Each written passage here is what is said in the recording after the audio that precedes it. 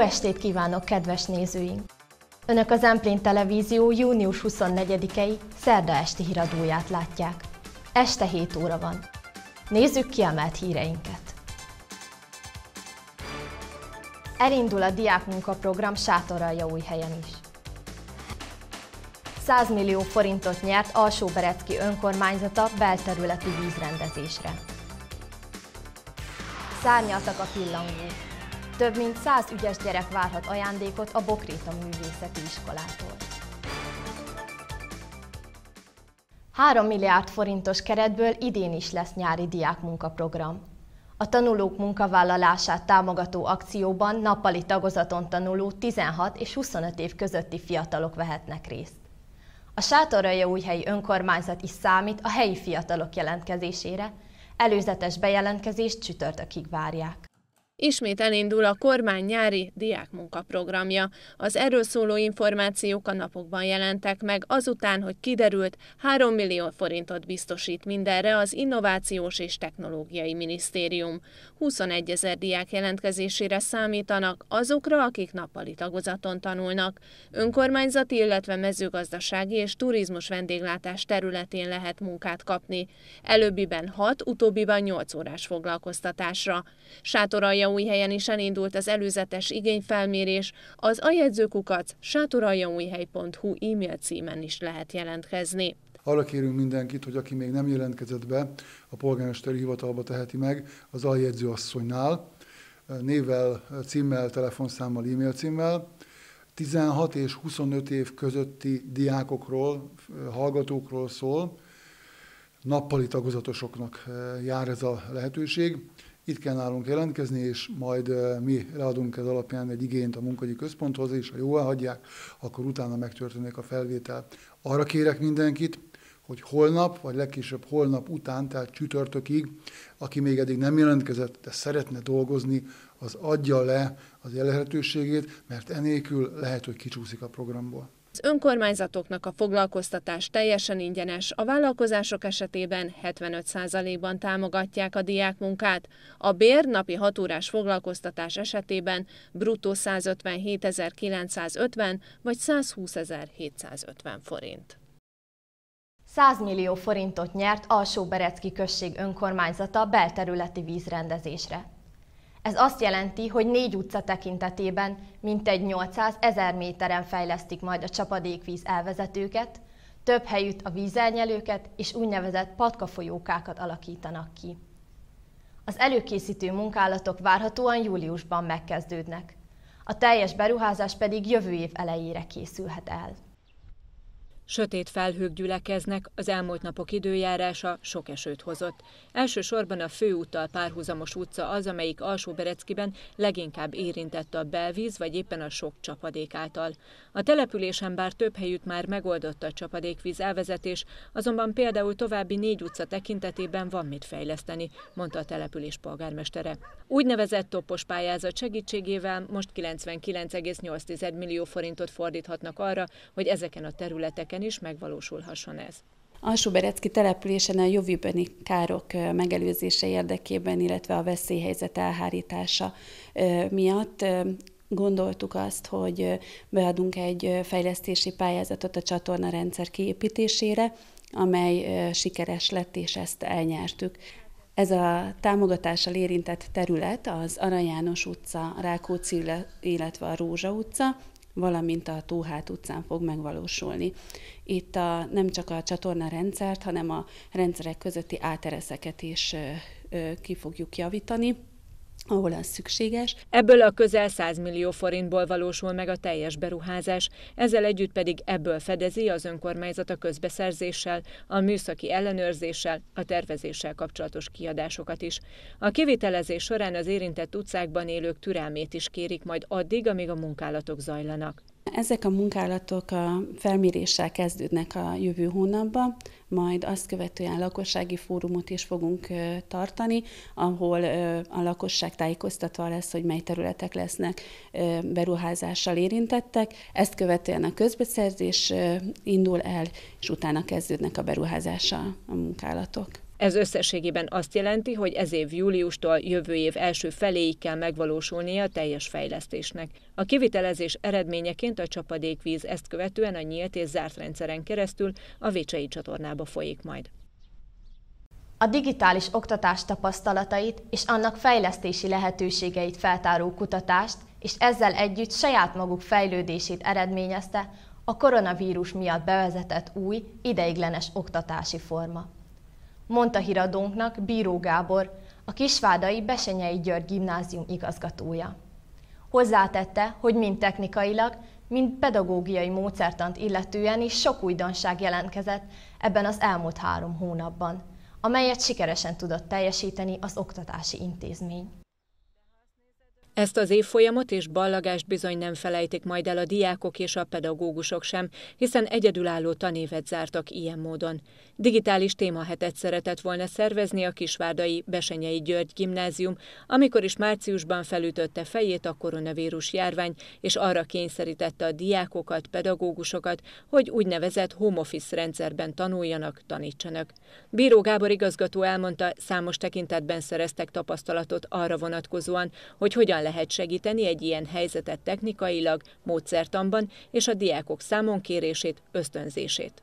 Azt is lehet mondani, talán tetszett is kollégáknak is, és még gyerekeknek is, hogy hát most nem kell korán kelni, nem kell utazni, időt nyertünk egyébként a tekintetben, de minden esetre én azt gondolom, hogy a múltra támaszkodva, tapasztalatokra támaszkodva mindenki a saját eh, alkalmazásainak segítségével és saját elképzelésre megfelelő, meg a csoporttal megbeszélve kezdte kialakítani ezt a fajta munkarendet.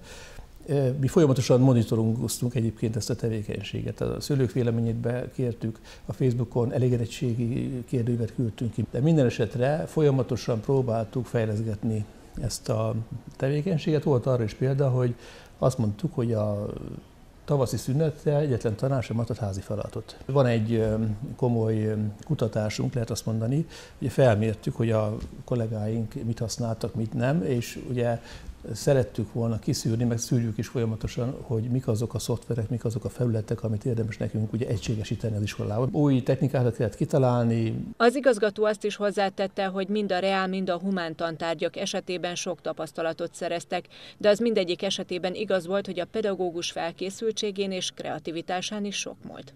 Tehát nem attól függ, hogy valaki reál vagy humán beállítottságú. A kérdés az, hogy mennyire tudja eszközként használni ezt a technikát.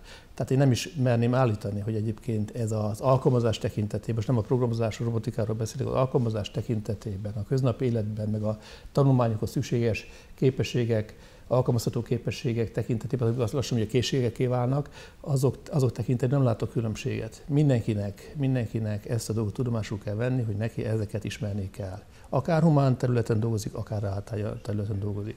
És azt látom, hogy ez így is működik nálunk, tehát nem, nem okoz ez problémát.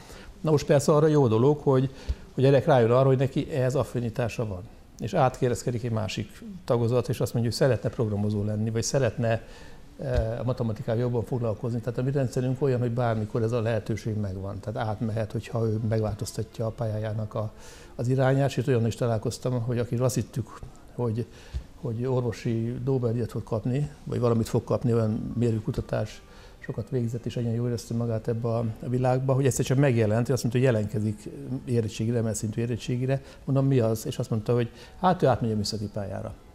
Tehát menet közben az egyetemi időszakban is rájött valaki arra, hogy ő más irányba szeretne egyébként indulni. A Kisvárdai Besenyei György gimnázium számára azért is kihívás volt ez az időszak, mert mintegy 800 diák kapcsán kellett a digitális oktatást megoldaniuk.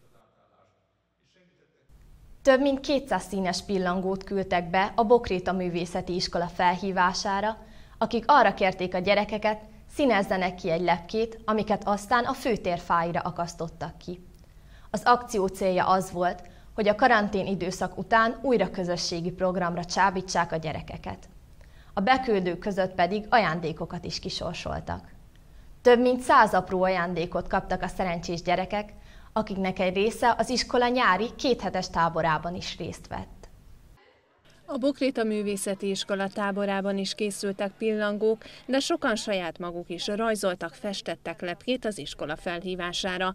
A gyerekeknek szóló akciót néhány hete hirdették meg, a célja pedig az volt, hogy a karantén után kicsábítsák a főtérre az ifjúságot, és érezzék újra egy közösségbe tartoznak a város gyermekei, táncosai, művészpalánták, kicsik és nagyok egyaránt. Több mint 200 pillangó érkezett be hozzánk e-mailen, és úgy látom, hogy mire már mi kijöttünk, akkor nagyon sok pillangó volt kint a fákon. Hát remélem az időjárás kegyes lesz a pillangókhoz, és nem áztatja el őket. Remélem jó sokáig gyönyörködhetünk bennük. Holnap történik meg a sorsolás, már kiírtuk az e-mail címeket, illetve a, a gyerekek nevét, akik beneveztek, beküldték a pillangójukat, úgyhogy holnap délután este felé várható, hogy a Facebook oldalunkon megjelenik a, a lista, hogy kik nyertek, és hogy hogyan vehetik át az ajándékukat. A gyerekek, főleg a lányok szívesen rajzoltak, festettek, csinosították saját pillangóikat. A gézaikrek is beküldtek egy-egy színes lepkét, és örömmel keresték őket a térfáinak ágai között. Mit jelképez a pillangó? Mit, mi jut eszedbe róla, hogyha meglátsz egy ilyet? Hát, hogy nagyon szép, és hát nem tudom, minden gyönyörű, és hát feldíszítik mindent van, és amikor szállnak rá virágról virágról, az olyan, mintha táncolnának, igaz? Igen, meg ez, hát igazából a pillanatok nagyon színesek, meg, tehát hogy nagyon, hát szépek. A tánciskola növendékeinek kéthetes tábort is szerveztek. A művész palánták nem csak táncolni tanultak itt, de túráznak, játszanak, kirándulnak együtt, próbálják bepótolni az egymás nélkül töltött időt. Hogy közösségi élmény legyen a zenehallgatás. A Kulturális Államtitkárság hívta életre a Térzene programot, amelynek célja, hogy minden 5000 fő feletti településen, parkokban, tereken, zenei pavilonokban felcsendüljön a klasszikus muzsika.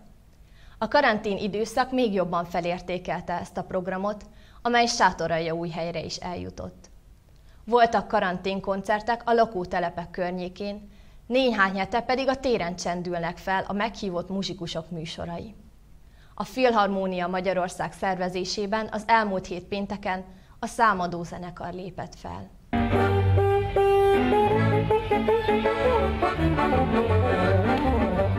Hiába volt borongós az időjárás, az igazi magyar népi muzsika meghozta a kedvet a nótázáshoz, és még az eső is elkerülte a sétáló utcát. A számadó zenekar koncertje volt a soron következő program a térzene kínálatában, és ahogy múlik a veszély, egyre többen merészkednek ki a sátoraljamújhelyi főtérre, az igényes zenei kínálatnak pedig mindenki örül. Mindenféleképpen jó. Tehát én azt mondom, hogy a zene az bármelyik időszakban jó, de valójában ez a nehéz időszak után az élő muzsikát hallgatni, így az élő közönség előtt játszani, és a zenészeknek mindenkinek jó, előadónak, hallgatónak egyaránt. A számadó zenekar népi muzsikájában a tárogató hangja az egyik jellegzetes, de a vonósok mellett harmonikát is beillesztettek a zenei kínálatukba. helyen nem ismeretlen a miskolci formáció, vezetőjük Boncsér Gábor művész tanárként is sokat megfordul erre, és talán húzta már a talpalávalót a helyi táncosoknak is, így repertoárjukat is jól ismerte a közönség. Amit hoztunk, azokat mindenhol ismerik. Tehát a, a kis Magyarország területén minden tájegységen. Van olyan például a, a ősszel érik babám a fekete szőlő néhány évvel ezelőtt, ma már nincs benne az általános iskolás énekkönyvekbe, amikor volt, akkor azt hollókői gyűjtésként jelölték meg, de ismerik a felvidéken, e, ismerik a Dunántúlon, az Alföldön, mindenhol ismerik. Vannak ilyen új stílusú népdalok, amit az egész kis Magyarországon, sőt, még a, a Nagy Magyarország területen is ismerik. Ugyanakkor meg hoztunk egy olyan dallamot is, amit ma hát inkább azt mondják rá, hogy magyar nóta vagy népies műdal, ugyan nem tudjuk, hogy ki a szerzője, a térzene programot a Filharmónia Magyarország szervezi számos 5000 főt meghaladó településen. A kulturális kormányzat célja ezzel a zenei programkínálattal az volt, hogy a klasszikus zenét népszerűsítsék, amely nem csak a koncerttermekben, de akár tereken, utcákon is teremthet közönséget. A programkínálat a Filharmónia Magyarország saját telefonos applikációjában és közösségi oldalán is megtalálható. Szárnya, szárnya, szárnya,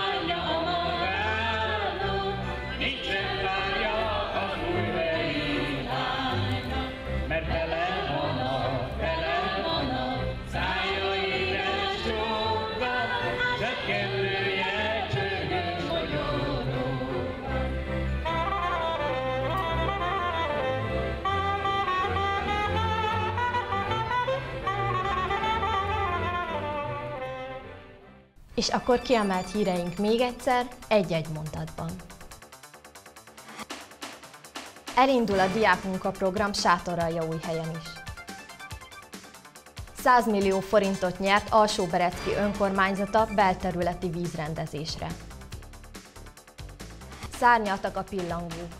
Több mint 100 ügyes gyerek várhat ajándékot a Bokréta Művészeti Iskolától. Híreinket újra megtekinthetik a www.zemplintv.hu weboldalon is. Ha kérdésük, véleményük, témajavaslatuk van, kérjük írjanak a Zemplén TV zemplintv.hu e-mail címre. Köszönjük a figyelmet, viszontlátásra!